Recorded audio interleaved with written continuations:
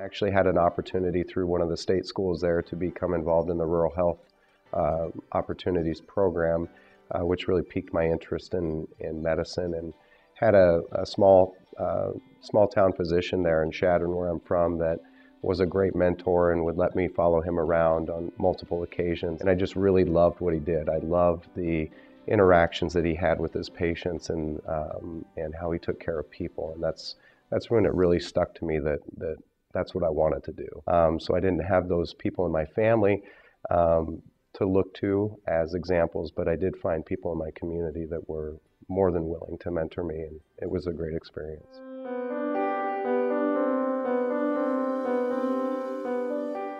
It's challenging. And, uh, you know, when I got into obstetrics and gynecology, I, I really liked all of it. Um, I liked doing surgery and, and doing obstetrics. There was something about taking care of those challenging patients and the really sick patients um, that really piqued my interest and kept me going. It, it pushed me to learn more and to read more. When you take circumstances where people are having to go through difficult times or a complicated pregnancy, and you're somehow able to uh, have a positive impact on that and potentially have a positive impact on the outcome of that pregnancy, it's such a rewarding experience.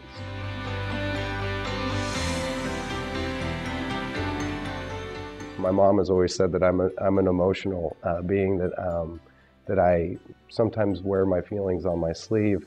Um, I, I love the experiences of of working with these patients um, and being there, as I said, in those moments that are most important in their life, moments that they're going to remember forever. I feel like you get to be at this special place, and, and oftentimes I find myself thanking patients after I've delivered their baby or taken care of them for allowing me to be involved in their care and to be involved in that special moment for them. It's awesome. It's fuel for the soul.